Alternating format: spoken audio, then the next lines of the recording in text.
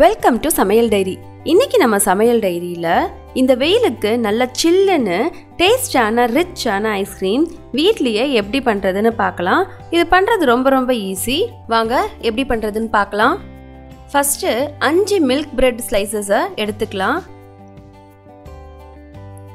இது மாதிரி சைடில் அந்த ப்ரௌன் எட்ஜஸ் இருக்கு இல்லையா அதை மட்டும் நம்ம தனியாக கட் பண்ணி எடுத்துக்கலாம்.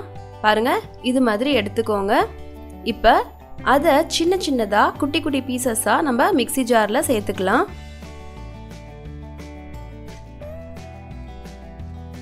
இப்போ இதை வந்து நல்லா நம்ம கிரைண்ட் பண்ணி எடுத்துக்கலாம். பாருங்க கிரைண்ட் பண்ண வாட்டி இது மாதிரி உங்களுக்கு நல்லா பவுட்ரு மாதிரி இருக்கணும். மிக்சி ஜாரில் போடுறதுக்கு முன்னாடி தண்ணி இல்லாமல் பார்த்துக்கோங்க இப்போ வந்து ஃபுல் ஃபேட் மில்க் எடுத்துக்கோங்க. இப்போ அதை வந்து பேனில் நம்ம சேர்த்திக்கலாம். எப்பவுமே ஐஸ்கிரீம்க்கு ஃபுல் ஃபேட் மில்க் யூஸ் பண்ணீங்க அப்படின்னா ஐஸ்கிரீம் வந்து ரொம்ப ரிச்சாக நல்லா டேஸ்டாக இருக்கும். பாலை சேர்த்திட்டு பாலை வந்து மிதமான சூட்லேயே வச்சு நல்லா கொதிக்க விடுங்க. நல்லா வந்து பால் வந்து கொதிச்சு இது மாதிரி நொர மாதிரி ஃபார்ம் ஆகணும். இந்த ஸ்டேஜில் நம்ம அரை கப் சுகரை வந்து சேர்த்திடலாம். சேர்த்திட்டு சுகர் வந்து நல்லா கரையிற வரைக்கும் நல்லா மிக்ஸ் பண்ணி விடுங்க.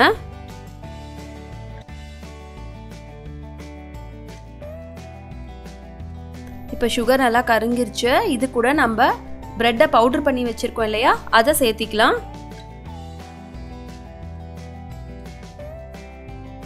ஒரு மூணுலேருந்து நாலு நிமிஷம் வரைக்கும் நல்லா வந்து மிக்ஸ் பண்ணி விடுங்க. மிதமான சூட்லேயே வச்சுக்கோங்க.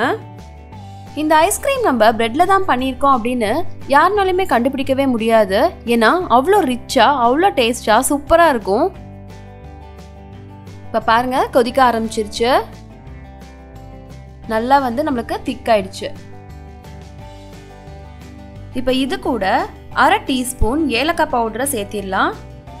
நான் ஒரு ஏலக்காவை நல்லா தூள் பண்ணி சேர்த்திருக்கேன். ரெண்டு சொட்டு வெனிலா எசன்ஸ் வாசனைக்காக நான் சேர்த்திருக்கேன். உங்ககிட்ட இல்லை அப்படின்னா நீங்கள் தவிர்த்துடலாம் ரெண்டு நிமிஷம் மிதமான சூட்லேயே வச்சு மிக்ஸ் பண்ணி விடுங்க. பாருங்க ரெண்டு நிமிஷம் கழிச்சு எப்படி ஆயிடுச்சுன்னு? இன்னும் திக்காயிடுச்சு. நம்ம இப்போ வந்து ஸ்டவ்வை ஆஃப் பண்ணிடலாம். இப்போ இதை வந்து பதினஞ்சு நிமிஷம் ஆற விட்டுருங்க.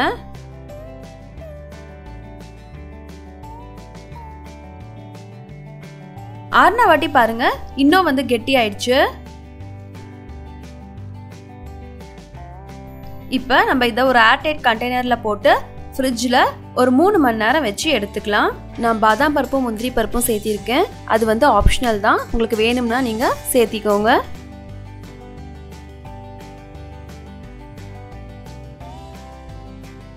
இப்போ மூணு மணி நேரம் ஆயிடுச்சு. மூணு மணி நேரம் ஆன உடனே திருப்பி ஐஸ்கிரீம் ஃப்ரிட்ஜில் இருந்து எடுத்து மிக்சி ஜாரில் போட்டு ஒரு நாற்பது செகண்ட் நல்லா கிரைண்ட் பண்ணி அதே ஏர்டைட் கண்டெய்னரில் போட்டு மூடி வச்சிருங்க. எட்டு மணி நேரம் ஃப்ரீசரில் இருக்கட்டும்.